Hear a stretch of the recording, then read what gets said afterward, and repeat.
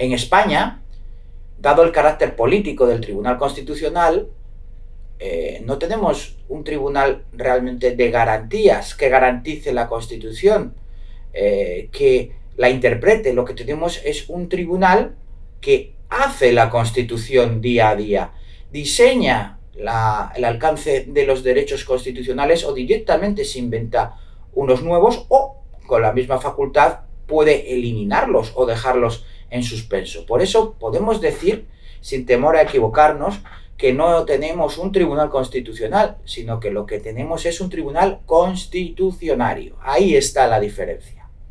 Si se sabe que cualquier medida que provenga del poder político, por mucho que repugne al ordenamiento jurídico, será avalada por el Tribunal Constitucional, es precisamente por su carácter diseñador de la legalidad vigente en cada momento, siempre en función del criterio de oportunidad política. El criterio de oportunidad sustituye al criterio de legalidad.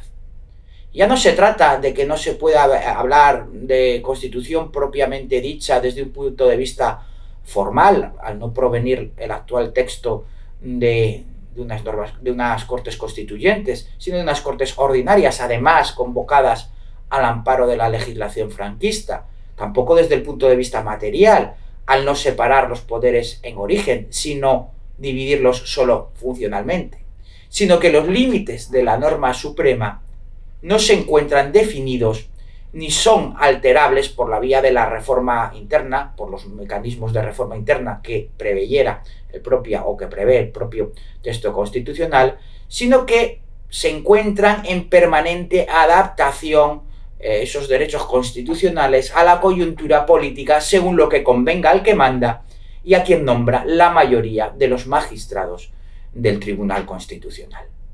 El criterio de seguridad jurídica en materia constitucional pasa a ser una mera entelequia por cuanto los límites constitucionales se establecen a cada momento en función de las necesidades políticas. El Tribunal Constitucional no es así constitucional propiamente dicho, sino que es constitucionario, en tanto va construyendo la Constitución a cada momento a través de sus distintas resoluciones en lugar de interpretarla. Y así es imposible la garantía de los derechos.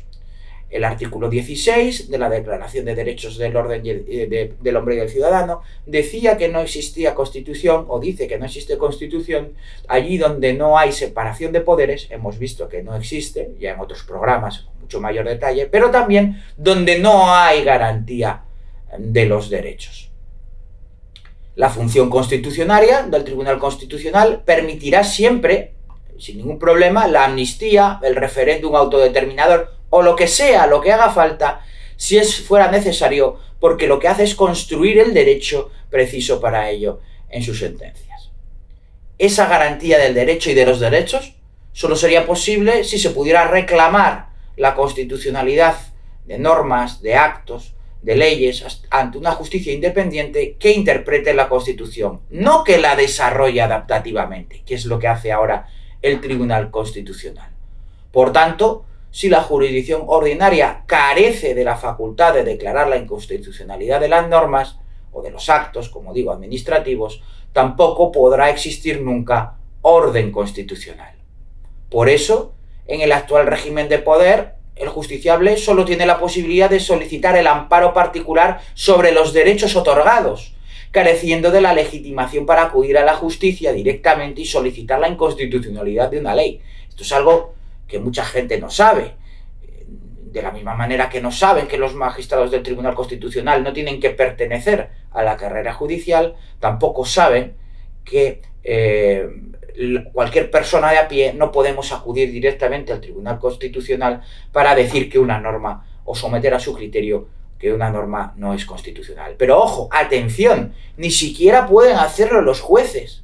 Eh, los jueces lo único que pueden hacer es plantear una cuestión de inconstitucionalidad, que no es sino que elevar ante sospechas de inconstitucionalidad esa, esa duda o esa seguridad, aunque tengan esa seguridad al Tribunal Constitucional para que sean estos delegados de los partidos políticos quienes eh, finalmente determinan si se trata de una ley, de una norma constitucional o no lo es.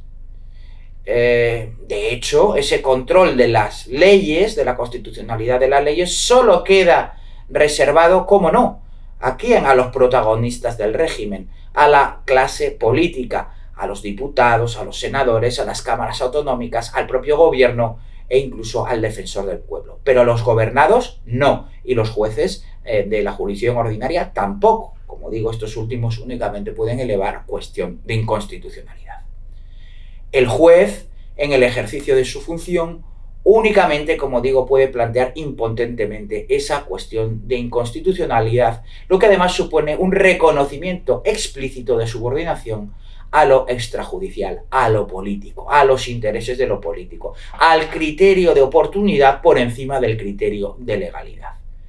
Esto supone una contradicción absoluta, además, con un principio tan elemental como es el de la unidad de jurisdicción, eh, que viene a suponer que mm, la misma potestad, el mismo poder del Estado reside en el más humilde juzgado de primera instancia que en el más alto magistrado del Tribunal Supremo. Si sustraemos el control de la constitucionalidad de esa jurisdicción ordinaria, ¿cómo podemos hablar de principio de unidad de jurisdicción? Resulta imposible. Y además redunda en lo que aquí estamos defendiendo hoy, que es la definición del Tribunal Constitucional como órgano político constitucionario, no como tribunal y menos aún como garantía de la materia constitucional.